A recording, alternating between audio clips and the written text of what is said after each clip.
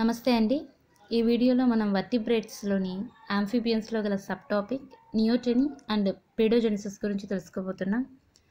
So ఈ రెండు words ఒకే విధమైనటువంటి అర్థాన్ని ఇస్తున్నప్పటికీ కూడా రెండు వేరు వేరు విషయాలను తెలియజేస్తాయండి మనకు. సో రెండు పదాలని కోల్వాన్ అనేటువంటి సైంటిస్ట్ ప్రవేశపెట్టడం జరిగింది.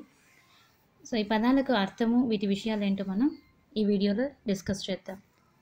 సో ఇందులో first one neoteny. So neoteny అనగా కింద మనం ఒక చిన్న రెఫరెన్స్ ఇచ్చాము.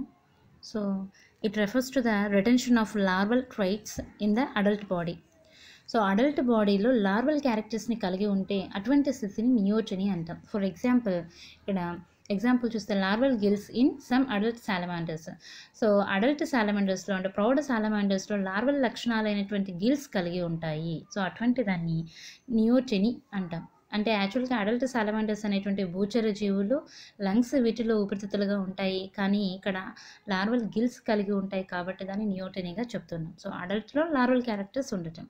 అలాగే నెక్స్ట్ పీడోజెనిసిస్ కింద చూద్దాం. సో పీడోజెనిసిస్ అనగానే it refers to the development of gonads or reproduction or production of young ones by and immature larval pre adult animal so ఇక్కడ మీరు చూస్తే లార్వల్ కండిషన్లో ఉన్నప్పుడే గొనాట్స్ అభివృద్ధి జరుగుతుంది. అలాగే అవి పిల్లల్ని ప్రొడక్ట్ చేసేటువంటి స్థితిలో కూడా ఉంటాయి. సో దీన్ని పీడోజెనసిస్ అంటాం. సో నియోటెనీలోనేమో లార్వల్ క్యారెక్టర్స్ అనేటువంటివి అడల్ట్స్లో ఉండటం జరుగుతుంది. పీడోజెనసిస్నేమో లార్వల్ ఫామ్లోని గొనాట్స్ అభివృద్ధి జరిగి పిల్లల్ని కనేటువంటి స్థితిలో అవి డెవలప్ అయి ఉంటాయి. సో ఇటువంటి దాన్ని పీడోజెనసిస్ అంటాం. For example gallfly liver fluke and salamanders so మీరు గమనిస్తే ఈ పీడోజెనిసిస్ అనేటువంటిది కేవలం ఆంఫిబియన్స్లోనే కాకుండా ఇన్వర్టిబ్రేట్స్ అనేటువంటి గాల్ఫ్లై అండ్ లివర్ ఫ్లోక్లో కూడా మనం గమనిస్తాం. సో నియోటిని అండ్ పీడోజెనసిస్కి బెస్ట్ ఎగ్జాంపుల్గా యాక్సెలోటిల్ లార్వా అని చెప్పొచ్చండి. సో యాక్సెలోటిల్ లార్వా అనేటువంటి దాంట్లో నియోటిని అండ్ పీడోజెనసిస్ రెండింటిని మనం చూడొచ్చు. అంటే రెండింటిని ఒకే దానిలో అంటే ఇక్కడ లార్వల్ క్యారెక్టర్స్ గురించి చెప్పేటప్పుడేమో దాన్ని నియోటినిగా వర్ణిస్తాము. అలాగే డెవలప్మెంట్ ఆఫ్ గొనాట్స్ గురించి చెప్పేటప్పుడేమో మనం దాన్ని పీడోజెనసిస్గా వర్ణించడం జరుగుతుంది. సో యాక్సెలోటిల్ లార్వా అనేటువంటిది ఆంబ్లిస్టోమా మెక్సికానం అనేటువంటి ఆంఫిబియన్ అలాగే ఆంబ్లిస్టోమా టైగ్రినం అనేటువంటి ఆంఫిబియన్కి సంబంధించినటువంటి లార్వల్ ఫామ్ అండి. ఈ మెక్సికానం ఏమో మెక్సికోలో టైగ్రినం ఏమో కొలరాడోలో లభిస్తాయి. సో ఈ ఈ రెండు కూడా ఉత్తర అమెరికాకు సంబంధించినటువంటి ప్రాంతాలు. అలాగే అక్కడి వాసులు వీటిని తినడానికి కూడా ఉపయోగించడం జరుగుతుంది. సో నెక్స్ట్ మనం అసలు ఈ యాక్సలోటస్ లార్వాస్లో జరిగేటువంటి ప్రాసెస్ ఏంటో ఇక్కడ చూద్దాం. So actually axolotls larvas larval ఫామ్లో ఉన్నప్పుడు అవి ఆక్వాటిక్ నేచర్ని కలిగి ఉంటాయి. అలాగే గిల్స్ని రెస్పిరేటరీ ఆర్గాన్స్గా కలిగి ఉంటాయి. సో ఇవి మెటోమార్సిస్ అనేటువంటి ప్రాసెస్ అంటే రూపవిక్రియం చెంది in the presence of thyroxine so thyroxine సమక్షంలో అవి రూపవిక్రియం చెంది అడల్ట్ ఫామ్ అయినటువంటి జీవిగా మారుతాయి. సో ఇక్కడ అడల్ట్ ఫామ్స్ అనేటువంటివి ల్యాండ్ ఫామ్స్గా ఉన్నాయి. అంటే టెరెస్ట్రియల్ భూమిపైన బ్రతుకుతాయి. అలాగే లంగ్స్ని రెస్పిరేటరీ ఆర్గాన్స్గా కలిగి ఉన్నాయి. సో ఇక్కడ ఆక్వాటిక్ ఫామ్గా ఉన్నటువంటి లార్వల్ ఫాము టెరెస్ట్రియల్ ఫామ్గా మారుతుంది. అలాగే గిల్స్కి బదులుగా లంగ్స్ మారుతాయి. దీన్ని మెట్రోమార్సిస్ ప్రాసెస్గా చెప్తున్నాం. సో ఇదంతా ఎప్పుడు జరుగుతుంది అంటే థైరాక్సిన్ ఉన్నప్పుడు. So in case in some cases ఇక్కడ ఏమవుతుందంటే ఇవి మెటామార్ప్సిస్ జర్ జరుపుకోవటం అనేటువంటిది స్టాప్ చేస్తాయి. సో అది ఏ కండిషన్ మూలనైనా అవ్వచ్చు. సో మనం దానికి సంబంధించిన ఫ్యాక్టర్స్ మళ్ళీ డిస్కస్ చేస్తున్నాం. సో ఇక్కడ ఏదో ఒక కారణం చేత మెటోమార్సిస్ ఆగిపోయి లార్వల్ క్యారెక్టర్స్ అలాగే అడల్ట్ ఫామ్లో ఉండిపోవటం కానీ లేదా ప్రీ మెచ్యూర్గా ఉన్నటువంటి లార్వల్ ఫామ్స్లో గొనాడ్స్ ప్రొడక్షన్ జరగడం కానీ జరిగిపోతుంది. అంటే ఆ విధంగా అవి మెటామార్సిస్ స్టాప్ చేసుకుని నియోజని లేదా పీడోజెనిసిస్ అనేటువంటి దాన్ని ప్రదర్శించడం జరుగుతుంది. సో ఇక్కడ మనం చూస్తే వీటి యొక్క ఫ్యాక్టర్స్ డిస్కస్ చేద్దామండి.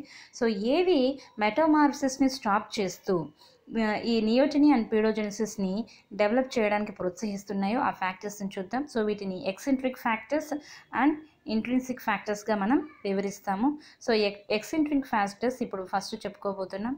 సో ఎక్ ఎక్స్ట్రింటిక్లో ఇక్కడ మీరు గమనిస్తే first one abundance of food అంటే వాటికి ఫుడ్ సరిగా దొరుకుతూ ఉన్నప్పుడు లభ్యత బాగా ఎక్కువగా ఉన్నప్పుడు అలాగే నెక్స్ట్ కోల్డ్ వాటర్ అంటే ఉష్ణోగ్రత తక్కువగా ఉన్నటువంటి వాటర్ అలాగే ఇన్సఫిషియంట్ అయోడిన్ అయోడిన్ సరిగా లేకపోతే థైరాక్సిన్ అభివృద్ధి జరగదు కదండి. సో థైరాక్సిన్ లేకపోతే మెటమౌసిస్ కూడా జరగదు. అలాగే saline nature of water. So ఈ ఫోర్ కండిషన్స్ ఉంటే అవి మెటమాసిస్ని ఇన్హిబిట్ చేస్తాయి అలాగే నియోటిన్ అండ్ పీడోజెన్సిస్ని ప్రమోట్ చేస్తాయి. So next one intrinsic factors. So intrinsic ఫ్యాక్టర్స్లో ఇక్కడ టూ హార్మోన్స్ ఉన్నాయి ఇన్సులిన్ అండ్ ప్రొలాక్టిన్ ఈ రెండు కూడా మెటామార్సిస్ని ఇన్హిబిట్ చేస్తాయి. అంటే పీడోజెనిసిస్ అండ్ నియోజె నియోటెనీని ప్రమోట్ చేస్తాయి. సో నెక్స్ట్ ఇక్కడ మనం చూస్తే రెగ్యులేషన్ని మనం గమనించవచ్చు సో అంటే ఏ విధమైనటువంటి హార్మోనల్ రెగ్యులేషన్ ఈ మెటామార్సిస్ జరగడానికి ఉందో చూద్దాం. సో బ్రెయిన్లో ఉన్నటువంటి పార్ట్ హైపోథలామస్ అనేటువంటిది థైరోట్రోపిన్ రిలీజింగ్ ఫ్యాక్టర్ని రిలీజ్ చేస్తుంది. ఈ టీఆర్ఎఫ్ అనేది పిటిటరీ గ్లాండ్ మీద పనిచేసి సో పిటిటరీ గ్లాండ్ని యాక్టివేట్ చేసి థైరాయిడ్ స్టిమ్యులేటింగ్ హార్మోన్ రిలీజ్ చే చేసేలాగా ప్రోత్సహిస్తుంది టీఆర్ఎఫ్. సో ఈ ఎప్పుడైతే పిట్యూటరీ గ్లాండ్ నుంచి టీఎస్హెచ్ ఫామ్ అవుతుందో అది వెళ్ళి థైరాయిడ్ గ్లాండ్ని యాక్టివేట్ చేస్తుంది. థైరాయిడ్ గ్లాండ్ ఏమో థైరాక్సిన్ అనేటువంటి హార్మోన్ను ప్రొడ్యూస్ చేసి మెటామార్ఫోసిస్ జరిగేలాగా ప్రోత్సహిస్తుంది. సో ఈ ఈ రెగ్యులేషన్ ద్వారా మెటామార్సిస్ జరుగుతుంది. వీటిలో ఏ ఒక్క హార్మోన్ లోపించినా కూడా మెటామార్సిస్ ఆగిపోయి అది పీడోజెనసిస్ని ప్రమోట్ చేసేలాగా చేస్తుంది. So next types of neoteny so types of నియోటనీని మనం గమనిస్తే త్రీ టైప్స్గా ఉందండి. First one partial second one intermediate third one extreme so ఇక్కడ చూస్తే ఫస్ట్ వన్ పార్షియల్ మనం గమనిస్తే సో పార్షియల్ నియోటనీకి ఎగ్జాంపుల్గా ట్యాడ్పోల్స్ అని చెప్పచ్చండి. ఈ పార్షియల్ నియోటనీని మనం గమనిస్తే ఫస్ట్ థింగ్ ఏంటంటే ఇవి ఏదో ఒక కారణం చేత కొద్ది రోజులు ఆగిపోతుంది. మళ్ళీ తిరిగి మెటమార్సిస్ చేసుకొని మామూలు అడల్ట్ ఫామ్గా చేంజ్ అవ్వచ్చు. అందుకే దీన్ని పార్షియల్గా చెప్తున్నాం. Next intermediate so intermediate neotenic ఎగ్జాంపుల్గా యాక్సలోటస్ లార్వాస్ని చెప్పొచ్చు.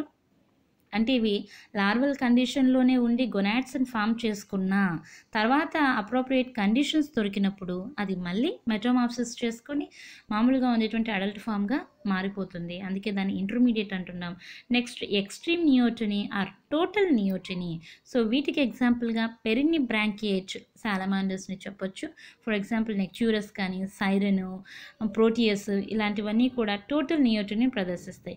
అంటే ఏ కారణం చేత మెటోమార్సిస్ ఆగిపోయి అది పీడోజెనసిస్ లేదా నియోటనీని ప్రదర్శిస్తుందో ఇక లైఫ్ లాంగ్ అది మెటోమార్సిస్ ఇక ప్రదర్శించదు. అంటే అదే ఫామ్లోని అదే అదే పీడోజెనసిస్ అనేటువంటి ఫామ్లోనే ఉండిపోతుంది. సో ఇదండి ఈ నియోటిని అండ్ పీడోజెనసిస్కి సంబంధించినటువంటి టాపిక్స్. వీటి నుంచి ఒక రెండు బిట్లు వచ్చేటువంటి అవకాశం ఉంది. సో మీరు దీని గురించి కొంచెం శ్రద్ధ వహించాల్సిందిగా కోరుతున్నాను. So thanks for watching.